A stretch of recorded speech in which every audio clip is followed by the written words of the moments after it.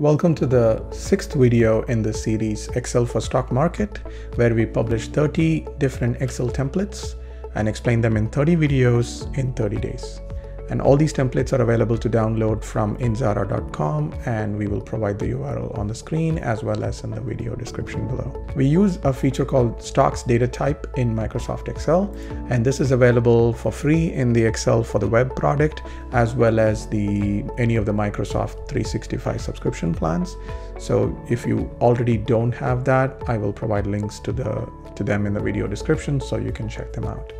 In this video, we're going to see the stock US stock market tracker Excel template, and I will you know show how the template works from a user perspective. And then for the second half of the video, I will then go over uh, at a high level how the template is developed. I will not be able to go into each of the formulas and explain in this video because otherwise the video will become pretty long. Um, however, I'm happy to address any questions you may have. If you download this template uh, for free from indzara.com and if you look at the formulas and if you have questions please post them in the comments and I'll happy I'll be happy to respond. Also if you think that a detailed video would be helpful please express your interest in the comments below. Uh, the more people ask for it if that's what uh, the subscribers need or require or want then I'm happy to work on that video for the future now, before we get started, uh, if you have not subscribed to this channel, please do. And if you think the content is good and if you think that it'll benefit somebody, please share. Now, let's get started. The first part of the video, we're going to talk about the how the template uh, is used. So this is a US stock market. So you can see at the top, there are three different indices, the Dow 30, S&P 500, and the NASDAQ 100 you can see the prices there, um, there, the points there, as well as the increase and then the percentage change. So right now everything looks increased because on the 22nd of March, which is what it says, um, they increased. But right now, today is 23rd, I'm going to go ahead and hit refresh all. This is how you refresh your data when you download the template. Just hit refresh all. You will see that now it's going ahead and updating. Uh, and now as of 333 on 23rd March, a lot of reds here. Um, and then I think I don't remember how many decliners we had previously, but right now, out of the 529 stocks that are being tracked in this template, 128 have gained and 401 have declined. And all the three indices are down. Uh, and then we have the top gainers. So we have these top gainers who have increased um, the highest by the percentage change. 4.07% is a change, uh, which is the highest. Uh, and then the negative would be negative 9.06 is the biggest decline. And then we have the top active stocks. So Apple, uh, it is 95 million is the volume and that's the highest. Uh, this is sorted by the volume. Uh, F is next, G third, and so on. You can also see whether those whether the price went or you know increased or decreased and you see a lot of reds here which indicate they declined now, the that is pretty much what the template does in this page, which is the dashboard. But if you want to see more of the top gainers and top decliners and top actives, you can click on the view more to go into the gainers, or you can just click on the tab. Um, this shows you the top 20 gainers and with a lot more information about those stocks. The volume, you can see the name of the ticker, I didn't know what WEC actually was, WEC Energy Group Incorporated. Um, and then the price increased. Um, and you see the yellow um, arrows, and that is controlled by a um, that is controlled by the conditional formatting rules, where we have set it up in such a way that you know if it is greater than five percent, then make it green arrow going up and then if it's uh, between the less than 5% but greater than or equal to zero, then show them up to be yellow. And that's why you see all these because we don't have anything gaining more than 5% today.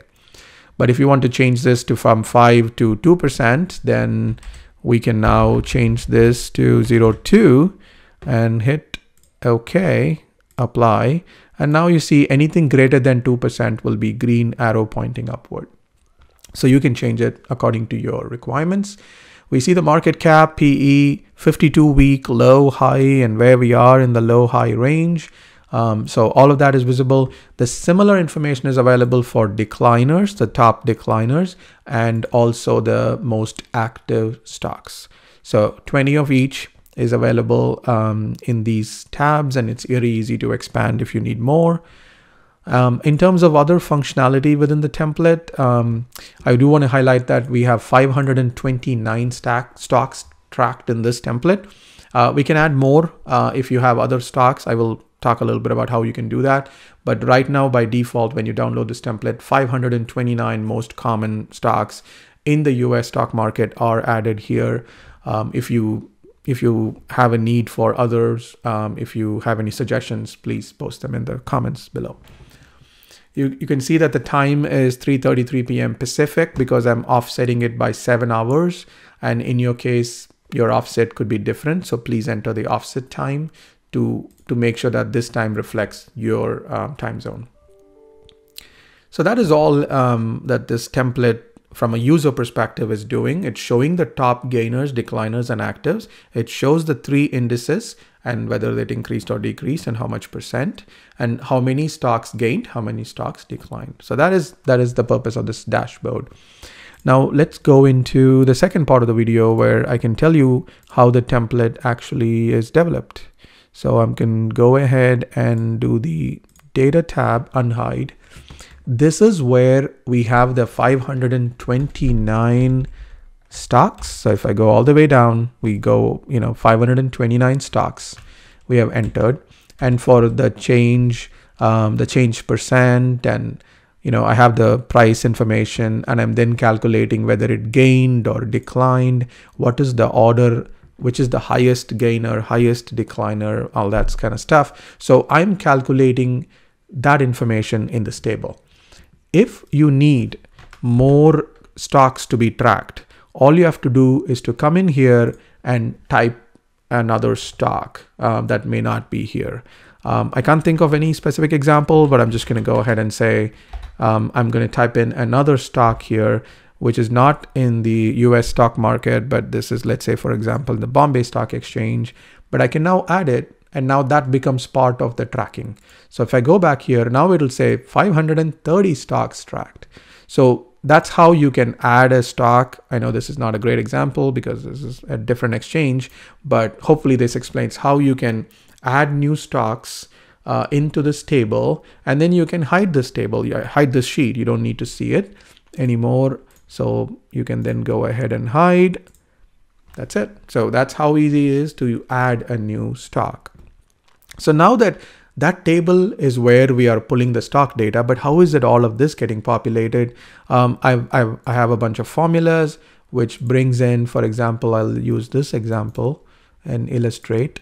I first, what I do is I have to find out the row number which belongs to the top gainer.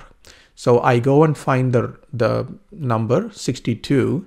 This row number represents the row number in the data sheet. So if I go to control G, A62, okay, so I'm gonna zoom in.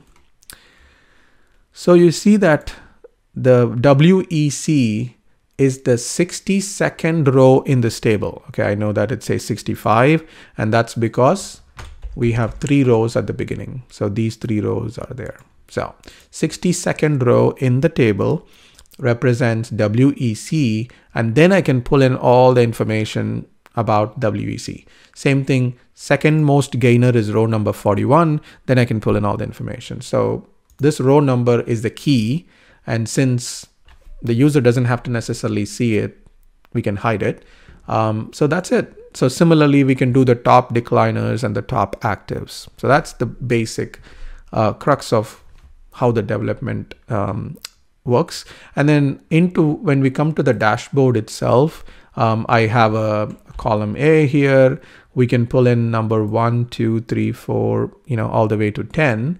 And now I can say, hey, bring me the, um, from the gainers table, bring me the first row. From the decliners table, bring me the first row. From the actives table, bring me the first row. So again, let me recap we bring in first the raw data in the data tab. and then we create the these three sheets which pulls in the top 20 of each category. And then in the dashboard we just need the 10 so we use the already obtained 20 and then we then bring in the top 10 and then this is just a link to view more into these sheets. So that's how the template was developed. Again I went relatively quickly because I'm trying I mean we're trying to do 30 videos in 30 days and um, you know we are trying to keep the video length manageable. But if there is a lot of interest from you all in the comment section saying you would really like to see a step-by-step um, tutorial of this uh, please post them in the comments and um, that'll tell us what type of content and the video are actually helpful so we can provide that to you thank you very much for taking the time and watching we'll continue with uh, this series tomorrow with a brand new video, brand new template. And um, I can't wait for that. If you like the content, please again, subscribe to the channel and share the video with your friends. Thank you very much for watching.